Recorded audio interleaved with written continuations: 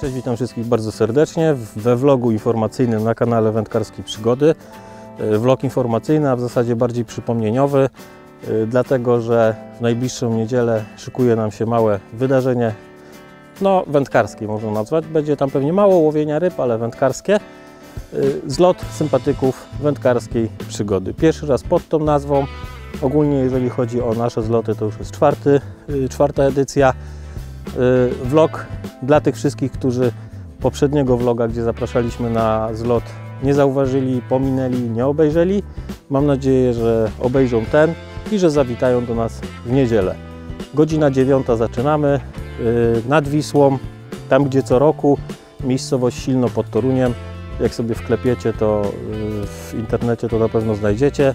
Ja jeszcze w opisie tego filmu podam namiary GPS. I cóż, każdy zabiera co kto lubi. Coś do jedzenia, coś do wypicia, będzie grill, jakieś minimum socjalne zapewniamy, także y, będzie na pewno jakaś ciepła kawka i tak dalej. No i co? No i mam nadzieję, że do zobaczenia. Y, widzimy się w niedzielę. Pozdrawiam y, również w imieniu Artura, który no, nie może być tutaj ze mną, niestety obowiązki służbowe, jest w pracy.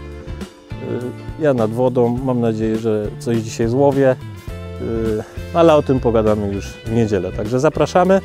Yy, Na koniec jeszcze taka informacja. Partnerami zlotu jest yy, oczywiście firma Harrison, która przygotowała małe co nieco dla Was.